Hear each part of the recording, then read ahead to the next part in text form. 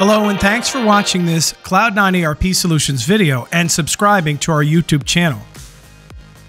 In this video, we're going to talk about changing the colors in Acumatica. Acumatica works off style sheets.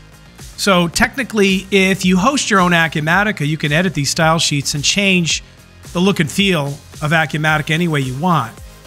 But out of the box, if you go to Site Preferences, there's an option here, among other options, to change the primary color. So if you click on it and you select your color, maybe we're looking for some sort of green here, and we click OK.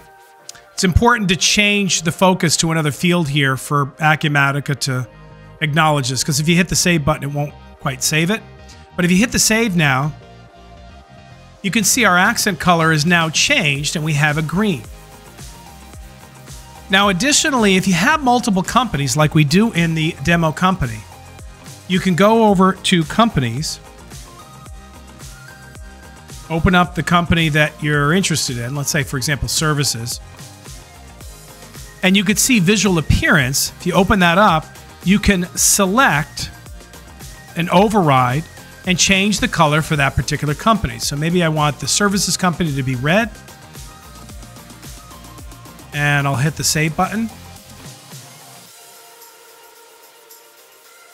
And now if I switch over to that company, you can see the color will change there as well. Now, lastly, under each company, if you have branches set up, you can go into any individual branch under visual appearance and you can override the color there as well. And again, now if we go back to our main company,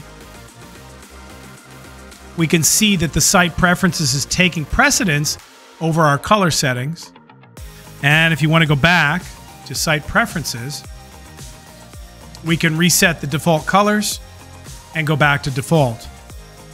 So that's a little color settings for you to change and, and spice up everything in Acumatica if you need to. If you're getting bored of the default out of the box colors. Thanks so much for watching this quick video and subscribing to our YouTube channel. And if you have any questions, feel free to reach out to us. Have a great day.